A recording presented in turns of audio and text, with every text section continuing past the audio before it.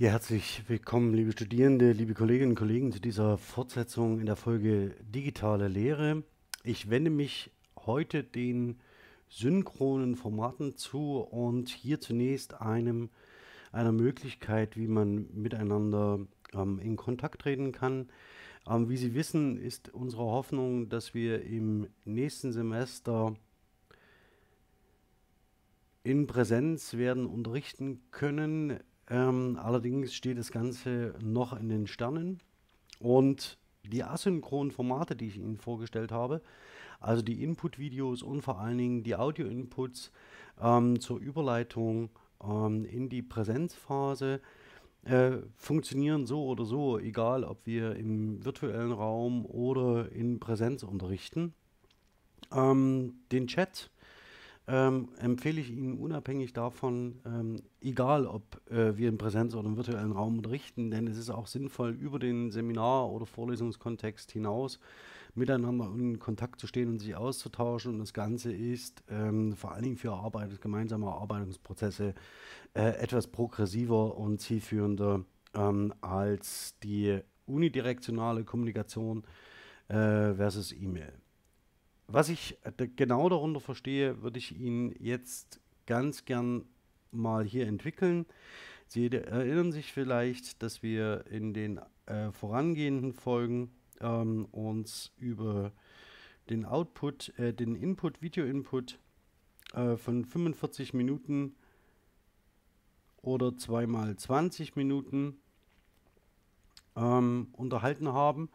Und hier ging es vor allen Dingen um den Video-Input äh, für den für den Wissenstransfer.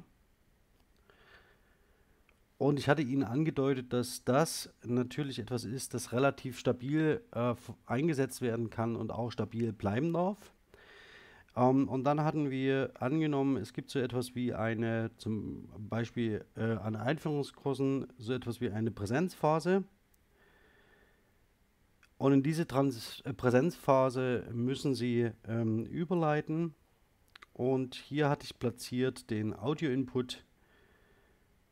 Audio-Input äh, gestützt mit äh, PDF. Ja, also für eine, zum Beispiel für eine Aufgabe oder die Vorstrukturierung einer Diskussion. Ähm, vor allen Dingen zur Aktivierung von Studierenden. Aktivierung, ja. Und jetzt sind wir hier in diesem Bereich in der Präsenzphase ähm, und also ich hebe das vielleicht nochmal ganz kurz vor. Und diese beiden, also Video-Input und Audio-Input, sind asynchron und der eigentlichen Veranstaltung vorausgestellt. Sie sehen also, dass man hier mit äh, Mitteln, die die Digitalisierung zur Verfügung hält, eigentlich die Präsenzlehre reformiert und nicht die Präsenzlehre abschafft.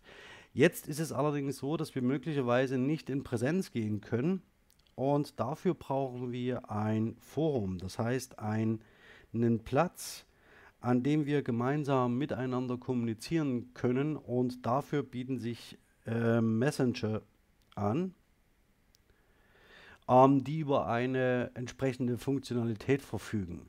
Sie sollten erstens die Organisation in Gruppen zulassen, das zweite ist, Sie sollten äh, Medien einbetten können, also das heißt Video, Ton ähm, und so weiter. Und Sie sollten ähm, dadurch asynchrone und synchrone Kommunikation erleichtern, je nachdem, worauf Sie gerade setzen. Das heißt, egal ob Sie Präsenzseminare oder Präsenzveranstaltungen für das Wintersemester planen und umsetzen können oder aber auf eine Messenger-Kommunikation ähm, umsteigen. Hier geht es vor allen Dingen um eine Arbeitsbasis ähm, in einem seminaristischen oder in einem Einführungskontext. Und dafür brauchen Sie Messenger. Ja, und diese Messenger sichern Ihnen die synchrone ähm, Kommunikation zu, die Sie brauchen. Welche Tools können Sie dafür verwenden? Glücklicherweise ähm, ist es so, dass wir in, an der TU Dresden den Messenger Matrix haben. Den habe ich im, der, im letzten Video schon angesprochen.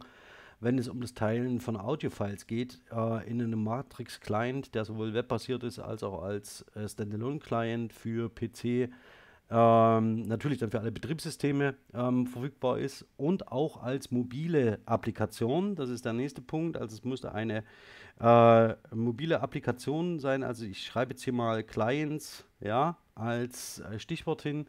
Das heißt, es muss vom Smartphone aus bedienbar sein und sowohl unter Android als auch iOS. Ähm, das nächste, ähm, ups, Entschuldigung, ähm, das nächste, was Sie ähm, verwenden können, wenn Sie nicht in Deutschland sind ähm, und sich nicht den Datenschutzbedingungen ähm, äh, unterwerfen müssen, ich habe in verschiedenen Kontexten sehr gute Erfahrungen damit gemacht, ist Telegram als ein Messenger, der dieselbe Funktionalität aufweist wie Matrix, als Plus allerdings Videobotschaften und Audiobotschaften zulässt. Auch das kann sinnvoll und nützlich sein. Ähm, und wenn Sie andere dabei sehen, wie sie WhatsApp benutzen, empfehlen Sie bitte entweder immer Telegram oder wenn das, ähm, wenn ein entsprechender Messenger bei Ihnen an der Universität vorgehalten wird, den Messenger, der dann auf bestenfalls universitätseigenen Servern läuft. Ähm, sollte das Wintersemester in Präsenz stattfinden können, in kleineren Gruppen, etablieren Sie trotzdem solche Foren, also die digitalen Austauschforen, die die Seminardiskussionen stützen können und bleiben Sie hierüber in Kontakt. Das ist das wichtigste Kommunikationsmittel. Ich mache mal einen Ausblick auf die nächste Folge. Videokonferenzen, ja, sollten dem nachgelagert sein. Also das heißt, primär für Ihre Kommunikation ist, ein Mess eine Messenger-Gruppe ähm, und in die Sie Studierende anleiten und einführen und dann mit ihnen hier in Kontakt und in Austausch treten und in Austausch bleiben. So viel für heute dazu. In, der nächsten, ähm, in dem nächsten Video werde ich mich den Videokonferenzen ähm, zuwenden und zeigen, wann und wie Sie diese am besten einbetten können in einem synchronen Kontext. Das ist allerdings dann schon ein Plus für die rein digitale Umsetzung von Lehrveranstaltungen. Ähm, unabhängig davon äh, ein schönes Tool, um äh, Vorträge vorzubereiten, Gastvorträge hinzuzuziehen. Auch hier können Videokonferenzen Präsenzveranstaltungen in hybriden Formaten äh, massiv voranbringen und unterstützen. Denn das wichtigste, ähm, die wichtigste Ressource, die wir alle haben, ist Zeit. Und man überlegte sich gut und gern, ob man für einen Gastvortrag ähm, an eine andere Universität äh, fährt mit zwei Tagen Reise oder ob man sich auf eine Diskussion zum Beispiel einlässt innerhalb einer Videokonferenz. Aber dazu dann in der nächsten Woche mehr. Für heute so viel. Um synchrone Kommunikation zu ermöglichen, etablieren Sie bitte für Ihre Kurse und für Ihre Veranstaltungen Messenger-Gruppen entweder auf äh, äh offiziell zur Verfügung gestellten Servern, wie bei uns an der TU Dresden mit Matrix, oder wenn Sie das nicht zur Verfügung haben, weichen Sie auf einen entsprechenden Dienst aus, achten Sie aber dann auf die Datenschutzkonformität und holen Sie Erklärungen ein, Datenschutzerklärungen, falls es notwendig sein sollte. Für heute soll es das gewesen sein und ich bin ganz herzlich Ihr Alexander Lasch. Bis zum nächsten Mal.